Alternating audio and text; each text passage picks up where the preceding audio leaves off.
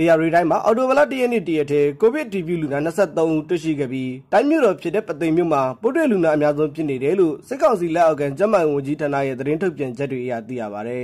။လူနာတက်တွေ့ရှိခဲ့တဲ့မြို့နယ်တွေကတော့ပသိမ်မြို့မှာ9ဦး၊ចောင်းကုန်းမြို့မှာ4ဦးနဲ့ဒနုပြူမြို့မှာ3ဦးစီတွေ့ရှိခဲ့ပြီးရောဂါပိုးအများဆုံးတွေ့ရှိခဲ့တဲ့မြို့နယ်တွေဖြစ်နေတယ်လို့သိရပါဗျ။ကိုဗစ်ရောဂါတွေ့ရှိခဲ့တဲ့ကျန်တဲ့မြို့နယ်တွေကတော့မြောင်မြမြို့မှာ2ဦးနဲ့လက်ပွတ်တာ၊ကန်ကြီးတော့ ရေကြီးနဲ့အိမ်မဲမြို့နယ်တွေမှာတဦးစီလူနာအသစ်တွေ့ရှိခဲ့တာလို့သတင်းထုတ်ပြန်ချက်တွေအရသိရပါဗျ။ဆရာနာရှင်စန့်ကျင်ပြီးစီရီယံပြုလုပ်ခဲ့တဲ့ကျန်းမာရေးဝန်ထမ်းတွေကတော့ကိုဗစ်ကာကွယ်ဆေးထိုးပြီးလဲယောဂကူးစက်နိုင်တဲ့အခြေအနေတွေရှိတာကြောင့်ပြည်သူတွေကိုတတိထားတော်လာဖို့အတွက်တိုက်တွန်းပြောဆိုထားပါတယ်။ AR တိုင်းမှာအာနာသိစစ်ကောင်စီအုပ်ချုပ်ရေးအဖွဲ့ကတော့မြို့နယ်အလိုက်မှာပျော်ပွဲရှင်ပွဲတွေကိုလက်စဉ်ပြုလုပ်ပေးနေတယ်လို့ဒေသခံတွေစီကသိရပါတယ်။